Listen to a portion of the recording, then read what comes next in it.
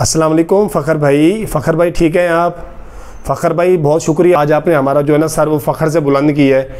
और बड़ी मुश्किल से मेहरबानी की आपने कि अपने बल्ले से रन बनाने की जहमत की है। क्योंकि हम तो वेट कर करके कर करके थक गए थे कि कब आएँगे फ़खर जमान के बल्ले से स्कोर। और आज आपने वो कसम तोड़ दी। भाई, अभी आपने छुट्टी नहीं करनी, अभी आपकी बहुत ज़रूरत है। ऊपर से टी ट्वेंटी वर्ल्ड कप भी आ रहा है।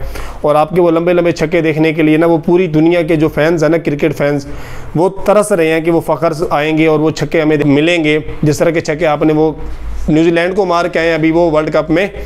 तो इसी तरह के छक्के हमने देखने हैं, इंशाल्लाह, वो जो अमेरिका के अंदर टी ट्वेंटी वर्ल्ड कप है तो फ़खर भाई, आपने हौसला नहीं हारना और आपसी मेहरबानी है हाथ जोड़ के मेहरबानी करनी है आपने।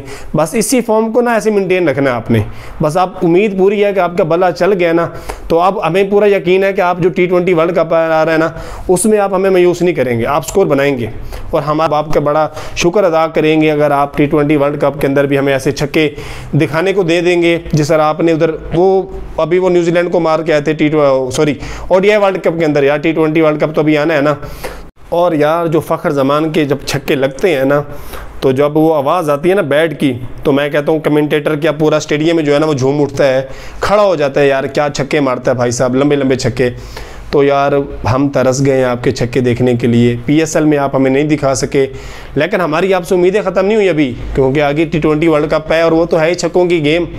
और उम्मीद पूरी है कि हमें फ़खर जमान भाई, हमारा जो है ना वो सर फ़खर से बुलंद करेंगे और छक्के मारेंगे और दिखाएँगे हमें छक्के। हम देखने आएँगे इंशाल्लाह आपके साथ अमेरिका में टी ट्वेंटी वर्ल्ड कप देखेंगे मिल के देखेंगे इंशाल्लाह। मैं टी वी पर देखूँगा और आप वहाँ पर खेलेंगे।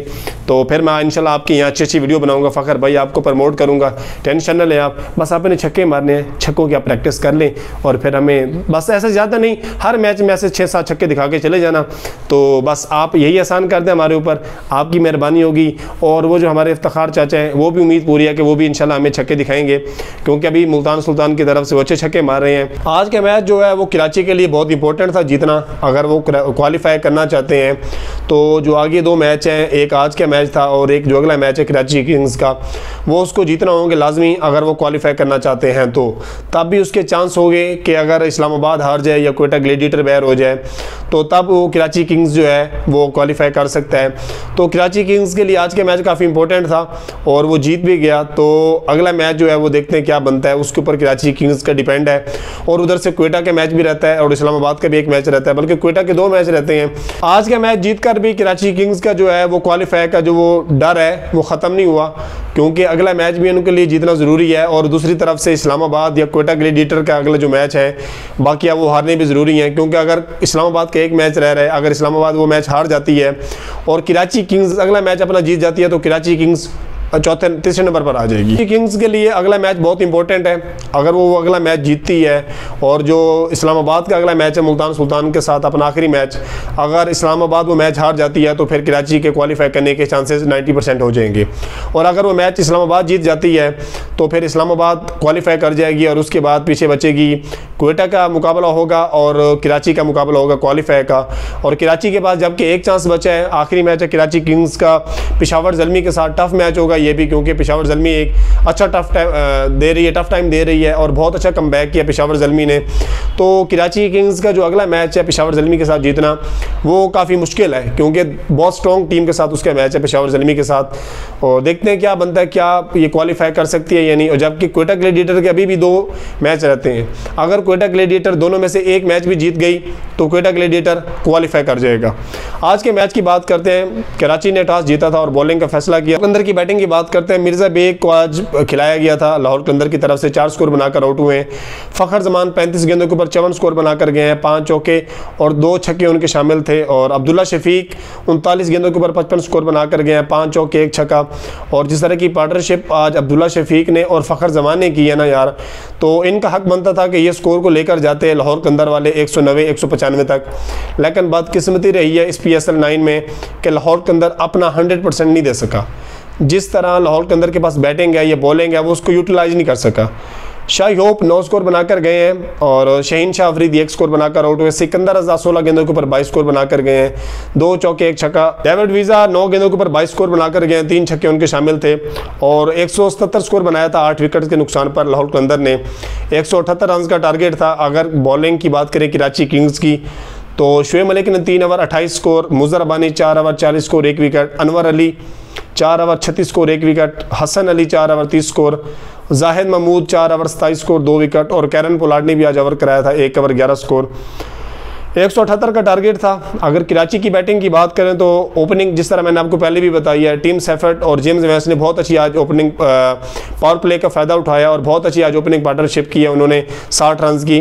तो बहुत अच्छी आज कराची की जो स्टार्ट था, कराची का, जो कि हमें S P S L line में बहुत कम ही ओपनिंग स्टार्ट देखने को मिला कराची किंग्स का बैटर वो आज स्टार्ट दिया आज कराची किंग्स का, जिसकी मैं बात करता हूँ कि जब तक आपके ओपनर अच्छा स्कोर नहीं बनाएँगे, आपके ओपनर अच्छा स्कोर नहीं बनाएँगे, आपके ओपनर अच्छा नहीं खेलेंगे, तब तक आपकी टीम अच्छा टारगेट नहीं बना सकती, ना ही वो अच्छा चीज़ कर सकती है। तो टीम सैफर्ट तैंतीस गेंदों के ऊपर छत्तीस स्कोर बनाकर गए हैं। जेम्स इवेंस सताईस गेंदों के ऊपर बयालीस स्कोर बनाकर गए हैं। छः चौके उनके शामिल थे और एक छक्का था। और शान मसूद सोलह गेंदों के ऊपर चौबीस स्कोर बनाकर गए हैं। कैरन पुलार तीन स्कोर बनाकर आउट हुए हैं। और शुएब मलिक सत्रह गेंदों के ऊपर सताईस स्कोर बनाकर गए हैं। चार चौके शामिल थे।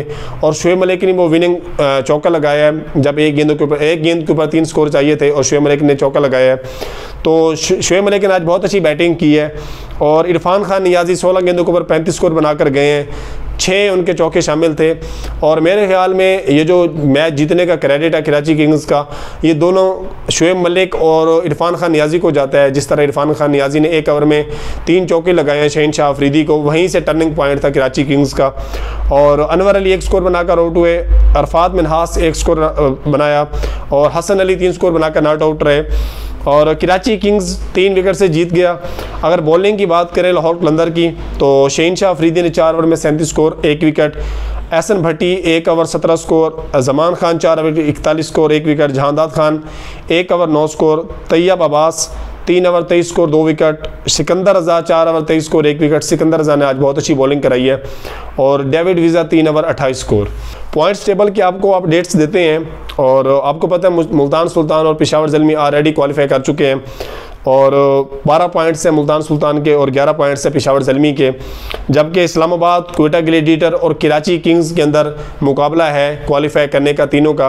और इस्लामाबाद के जो टोटल पॉइंट्स हैं वो अब तक नौ हैं और एक मैच रहता है इस्लामाबाद का वो है मुल्तान सुल्तान के साथ। अगर इस्लामाबाद क्वालिफाई करना चाहता है तो इस्लामाबाद को ये मैच जीतना लाजमी होगा। जबकि कोयटा ग्लेडिएटर के अभी भी दो आ, मैच रहते हैं और कोयटा के जो पॉइंट्स हैं वो नौ पॉइंट्स हैं। एक मैच उसका लाहौर के साथ है दूसरा मैच उसका मुल्तान सुल्तान के साथ है।